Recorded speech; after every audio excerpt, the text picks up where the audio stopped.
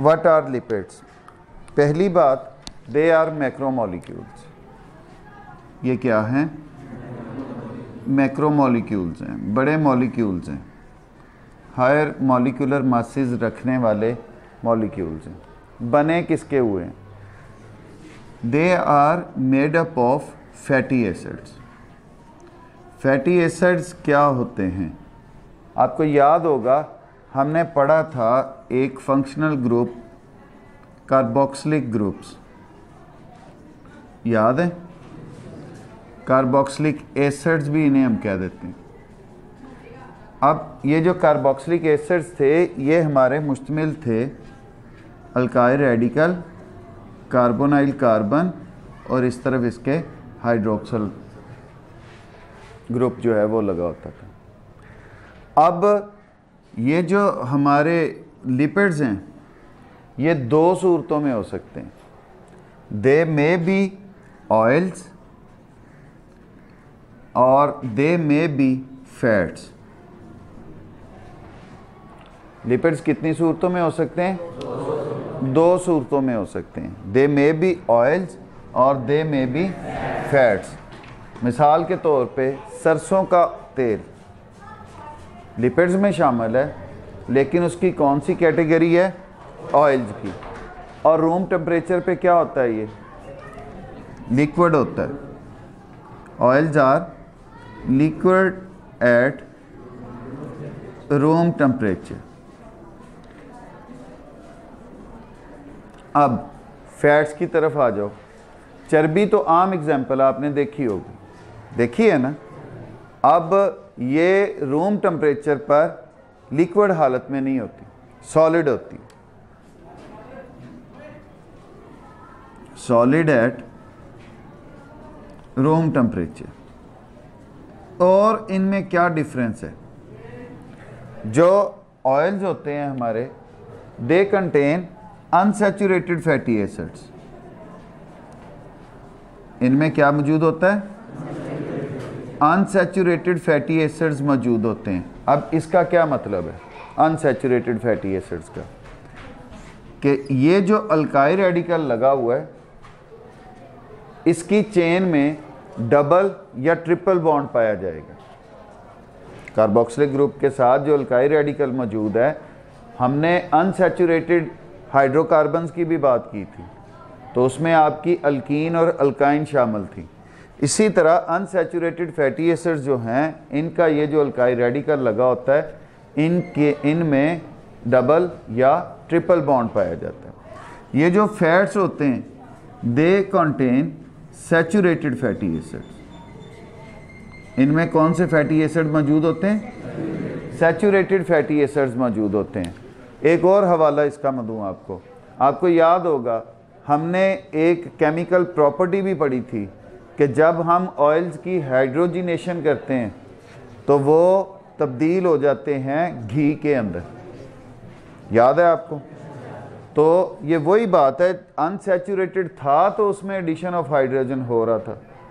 और वो किसमें तब्दील हो रहा था फिर? सेचुरेटेड फैटी एसिड्स के अंदर।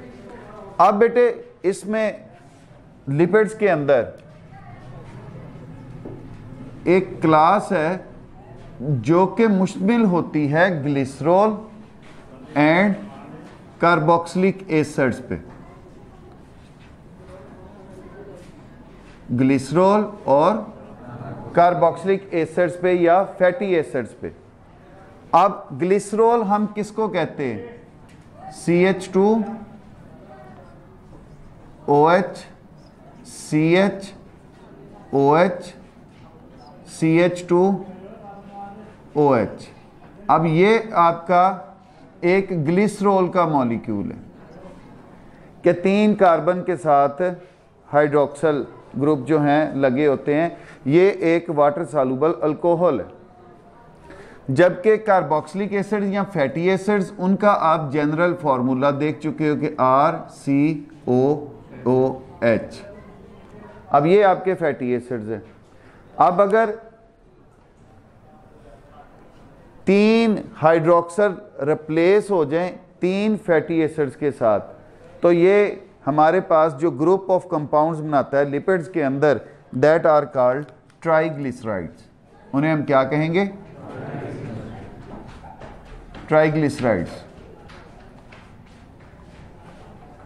अब लिपिड्स या ट्राइग्लिसराइड्स का आ जाए कि जनरल फार्मूला लिखें तो इसी को हमने रीअरेंज करना है। ये ट्राइग्लिसराइड्स कैसे बनते हैं?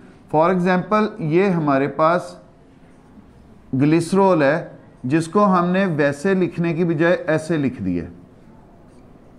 कोई फ़र्क तो नहीं बेटे? इसकी डायरेक्शन और थी। इसकी ओरिएंटेशन हमने चेंज कर दी। अब साथ इसके प्लस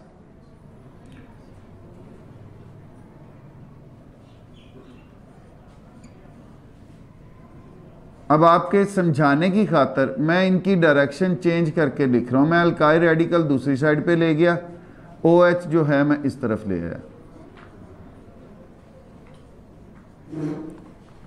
अब यहाँ पर ये जो तीन फैटी एसिड इस्तेमाल हो रहे हैं, इनके ये अल्काई रेडिकल एक जैसे भी हो सकते हैं, ये अल्काई रेडिकल मुख्तलिफ़ भी हो सकते हैं। समझ आ गई बात की? अब यहाँ पे देखो, ये तो ग्लिसरोल का मॉलिक्यूल है। इनकी कार्बन की चेन जो है, वो आपस में जुड़ी हुई हैं। आप लोग अमूमन गलती करते हो, जब इसका जनरल फॉर्मूला लिखा जाता है तो आप अपने ताई ठीक लिखते हो। लेकिन ये बॉन्ड बनाना भूल जाते हो। लेकिन दूसरी तरफ़ आप देखो कि यहाँ पर तीन फैटी एसिड हैं। यहाँ पे भी प्लस यहाँ पे भी प्लस फैटी एसिड यहाँ पे भी प्लस फैटी एसिड अब होगा क्या? अब ग्लिसरोल से हाइड्रोजन और आपके फैटी एसिड से ओ OH उतरेगा। एक वाटर मॉलिक्यूल चला गया। ग्लिसरोल से हाइड्रोजन और फैटी एसिड से आपका हाइड्रोक्सल चला गया। दूसरा वाटर मॉलिक्यूल ग्लिसरोल से हाइड्रोजन और हाइड्रोक्सल ग्रुप किससे चला गया? फैटी एसिड से। अब ये तीसरा पानी का मालिक्यूल अब minus three H two O अब आपके पास एक जनरल लिपिड का फॉर्मूला आ जाएगा। मैंने आपको ये बताया कि ये बॉन्डिंग कैसे होगी इनकी ग्लिसरॉल की और तीन फैटी एसिड्स की। इन ट्राइग्लिसराइड्स बनाने के लिए। अब आपके पास सी एच टू ऑक्सीजन बचा। यहाँ पे बॉन्ड आ गया। सी एच ऑक्सीजन बचा और आपके पास फिर सी एच टू ऑक्सीजन बचा। अब इस कार्बन के दरमियान और इस ऑक्सीजन के दरमियान बॉन्ड कायम हो जाएगा। Bond C double bond O और यहाँ पे algae radical C double bond O यहाँ पे algae radical C double bond O algae radical मुश्किल बात तो नहीं।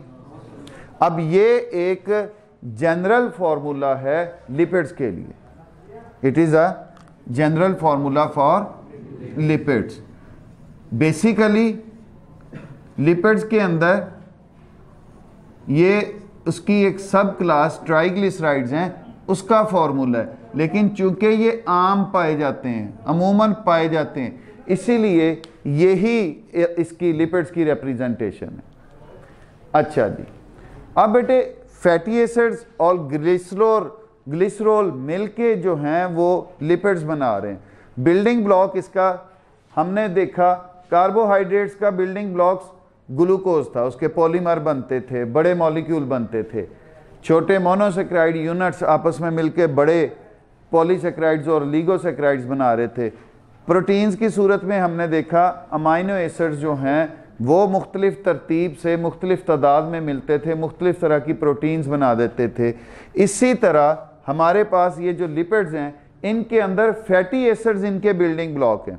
वो मुख्तलिफ़ चीज़ों के साथ मिलके मुख्तलिफ़ तरह के लिपिड्स बनाते हैं। जैसे उसमें एक एग्ज़ाम्पल आपकी ट्राइग्लिसराइड की है कि वो ग्लिसरॉल के साथ तीन फैटी एसिड मिलकर एक सब क्लास बना रहे हैं उसकी, जिसको हम कह रहे हैं ट्राइग्लिसराइड लेकिन चूँकि ये आम पाए जाते हैं, इसीलिए यही जो ट्राइग्लिसराइड्स हैं, इसकी रिप्रेजेंटेशन भी बन रहे हैं। इसीलिए हम इसी के फार्मूला को कह रहे हैं कि ये लिपिड्स का जनरल फार्मूला है। लेकिन when you will move to your higher classes आप देखेंगे कि लिपिड्स की भी आगे सब टाइप्स होती हैं और उनको मुख्तलिफ़ प्रॉपर्टीज़ की बुनियाद पर हम मुख्तलिफ़ तरीके से डिफ्रेंशिएट करते हैं। Fatty acids are building blocks of lipids they are long chain saturated और अनसेचूरेटेड कार्बोक्सिलिक एसिड ये बात मैं पहले ही आपसे कर चुका। फैटी एसिड्स जो हैं, पहली बात ये क्या है? दे आर बिल्डिंग ब्लॉक्स ये बिल्डिंग ब्लॉक्स हैं।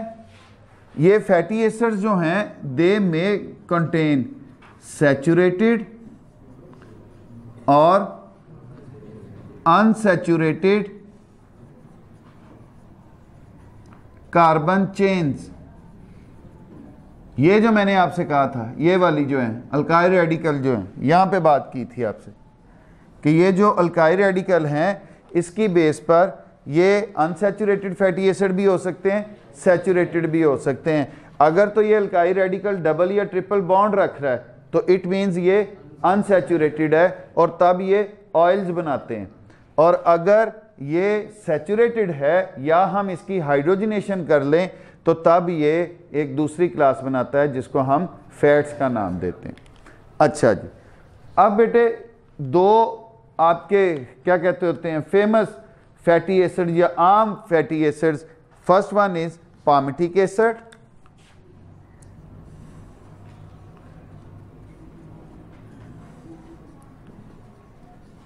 और दूसरा stearic acid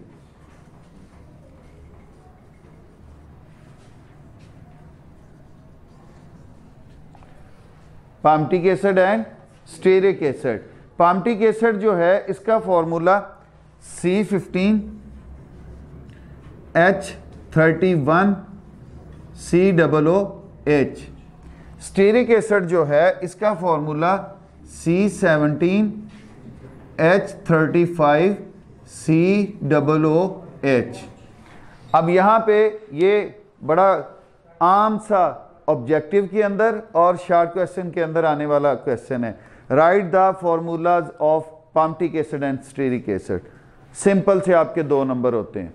आपके ऑब्जेक्टिव क्वेश्चन में आ जाता है कि दे दिए जाते हैं उसमें एम के अंदर कि tick the and circle the correct formula of palmitic acid और स्टेरिक एसिड तो ये बड़ी आसान सी बात है। अब इसको याद कैसे रखना है? इसमें अमूमन ये होता है, भूल जाता है कि स्टीरिक एसिड का फॉर्मूला कौन सा था और पामिटिक एसिड का क्या फार्मूला था?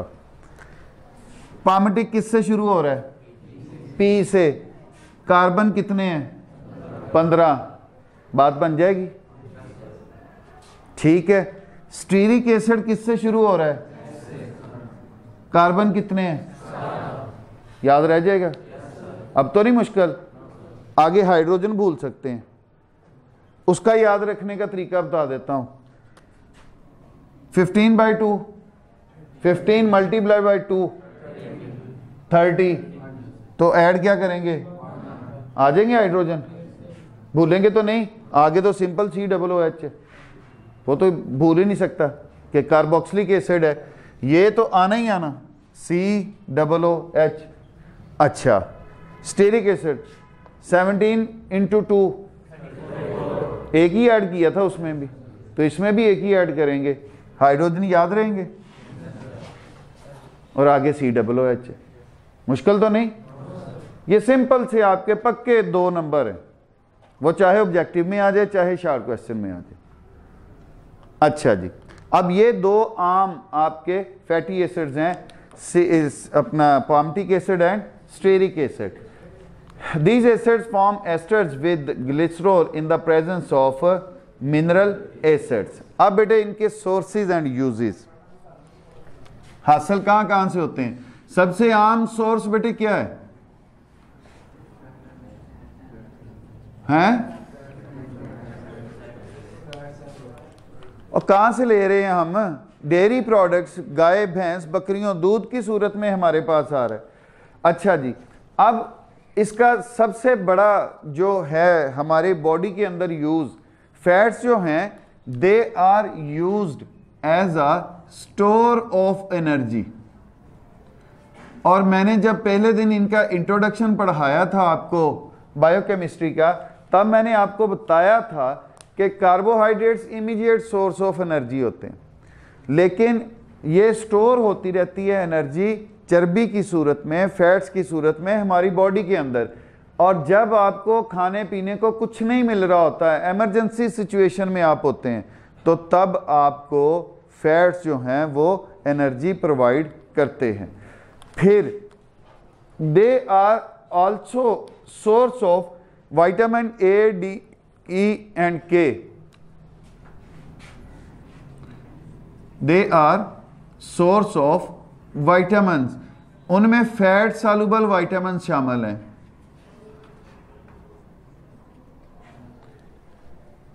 अब, ये जो वाइटामिन हैं, ये कैसे फैट्स इनके, चूँकि ये हैं ही फैट सालुबल ये वाइटामिन जो हैं, ये है ही फैट सालुबल जहाँ पर फैट्स होंगी, वहाँ साथ ये वाइटामिन मिलेंगे। मतलब वाइटामिन डी चाहिए हमें।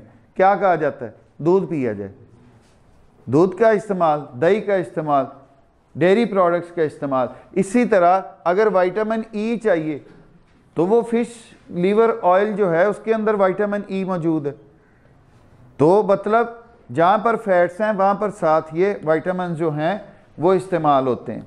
अच्छा जी, फिर हमारे brain cells they are use in the formation of brain cells basically तो ये हर सेल का कंपोनेंट है। हमने पढ़ा था कि हमारी जो मेम्ब्रेन्स होती हैं सेल मेम्ब्रेन्स हैं, वो मुश्तमिल हैं लिपिड बाई लेयर पे। अब बाकी जो सेल्स हैं स्पेसिफिकली उन्होंने ब्रेन सेल्स का कह दिया कि इसकी फॉर्मेशन में इन्वॉल्व हैं। तो सर हमने उस पर एक तो सेल मेम्ब्रेन आएगी। उसके अलावा हमने माइलिन शीथ भी पढ़ी थी। वो भी तो इन्हीं की बनी होती है। स्मूथ मसल्स के अंदर उनको इकट्ठा रखने के लिए बाइंडिंग रखने के लिए फैट्स की मकदार ज़्यादा मौजूद होती है। तो ब्रेन सेल्स की फॉर्मेशन में ये इस्तेमाल होते हैं। They are insoluble in water but soluble in organic solvent oil कोई भी आप हल करके देखो, पानी में हल हो जाएगा। फैट्स जो हैं, वो पानी में आप हल करके देखो, हल हो जाएँगी। ये पानी में इनसॉल्युबल होते हैं। But soluble in in organic solvents. Oil को ऑयल के अंदर बेटे मिक्स कर दो, वो मिक्स हो जाता है। क्योंकि वो दोनों एक ही नेचर रख रहे हैं। जबकि ऑयल को या चर्बी को, लिपिड्स को आप पानी में हल करना चाहो तो वो हल नहीं होते। अब ये आपको इंसुलेट भी करते हैं। इंसुलेट करने का मतलब ये हमारी स्किन के ऊपर एक तय की सूरत में मौजूद है। जो क्या कर रहे हैं? जो हमारे जिसम का टेम्परेचर बाहर के टेम्परेचर के मुताबिक नहीं होने देते। जो हीट हमारी बॉडी में प्रोड्यूस होती है, उसको अंदर ही रहने देते हैं। जो बाहर की एडवर्स कंडीशंस होती हैं, उनको अंदर तक मुंतकिल नहीं होने देते। तो they act as insulator are अच्छा जी fats and oils are synthesized naturally by animals plants and marine organisms अब इनके सोर्सेस के ये कैसे हैं they are naturally synthesise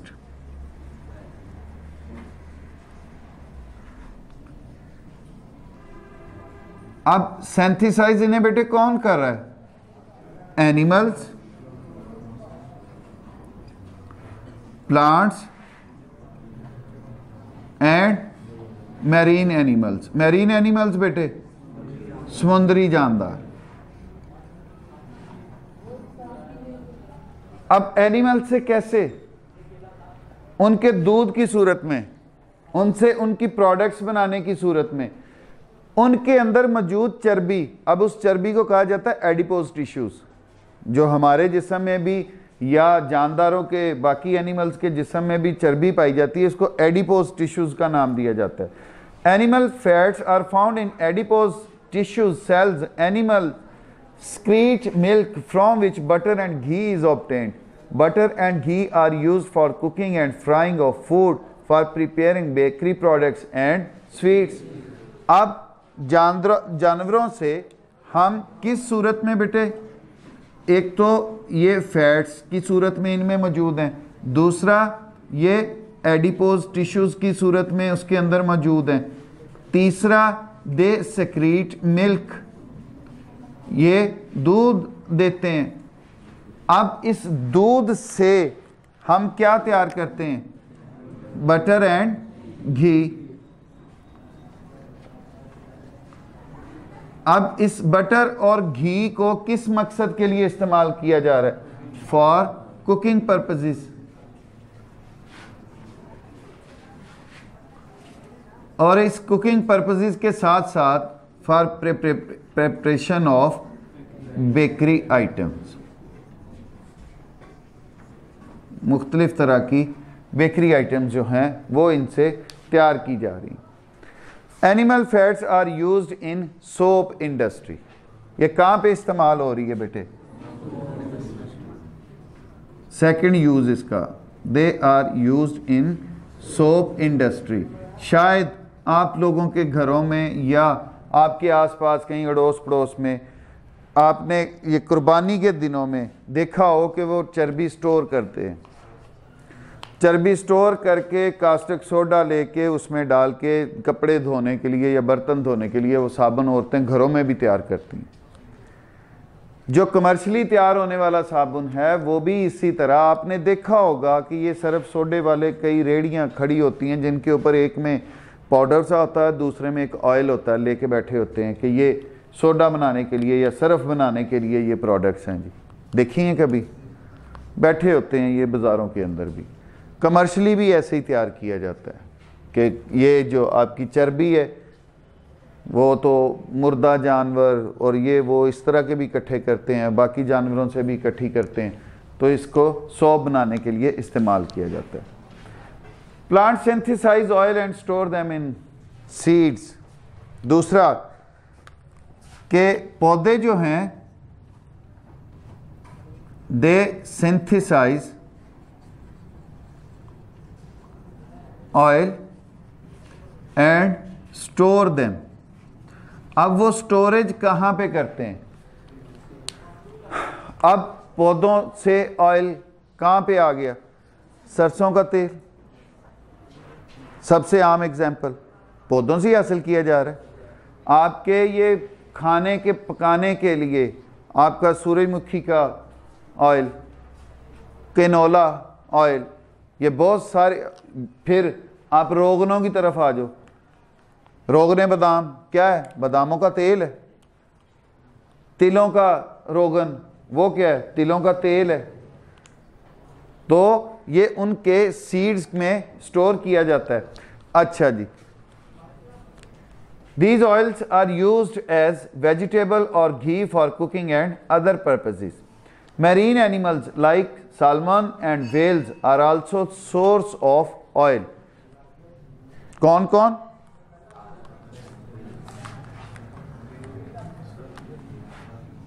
Salmon and whales ये भी सोर्स के तौर पर इस्तेमाल होते हैं किसके? फैट्स के. These oils are use as medicine ये किसके तौर पर इस्तेमाल हो रही हैं? For example cod liver oil इनका यूज़ क्या है बेटे? मेडिसन के तौर पर होती हैं। इस्तेमाल होती हैं।